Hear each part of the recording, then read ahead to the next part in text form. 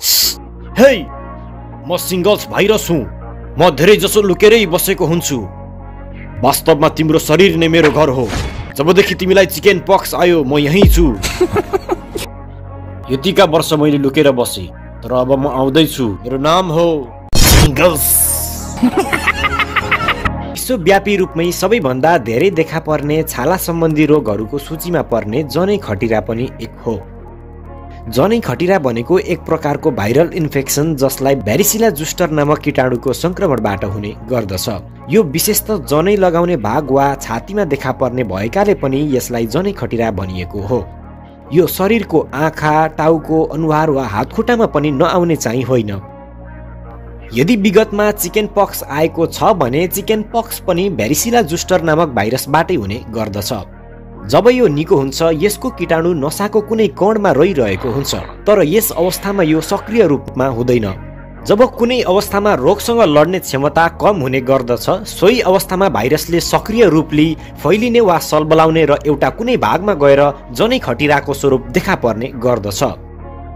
हामीले यहाँ यो कुरा बुझ्न आवश्यक छ कि चिकन पक्स र हर्पिस जुस्टर एउटै समूहमा पर्ने गर्दछन्। र पहिले चिकन पक्स आएका व्यक्तिमा मात्र जनै खटिरा आउने गर्दछ। जनै खटिरा एक सङ्क्रमित व्यक्तिबाट अरूमा पनि सर्न सक्दछ तर यसको सम्भावना केही न्यून नै हुन्छ। अर्को रोचक र मुख्य कुरा के छ भने जनै खटिरा आएको व्यक्तिबाट अरू व्यक्तिमा सरेर जनै खटिरा नै चाहिँ हुँदैन बरु त्यस व्यक्तिलाई चिकन पक्स देखा पर्न सक्दछ। मतलब पहिले चिकन पक्स देखा परेर मात्रै जनै खटिरा आउने गर्दछ। त्यसैले विगतमा चिकन पक्स आएका व्यक्तिमा जनै खटिरा आउने सम्भावना अत्याधिक हुन्छ। आउनुहोस् अब यसको लक्षणको बारेमा जानौ।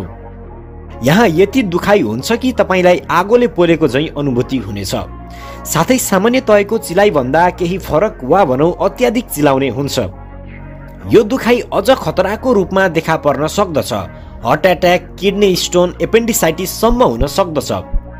तर बहत्तर घन्टाभित्रै यसको उपचार गर्न सके दुखाइ निकै हदसम्म कम हुने र थप खतरा हुन दिँदैन।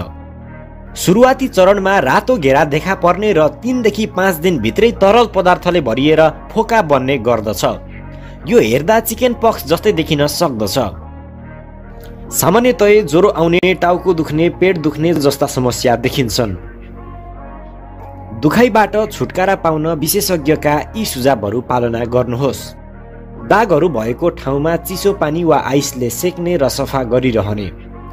हल्का हातले बिस्तारै क्यालामाइन लोसन लगाउनुहोस्। अब त्यस भागलाई स्टेराइल ब्यान्डेजले खुकुलो पारेर लगाउनुहोस्।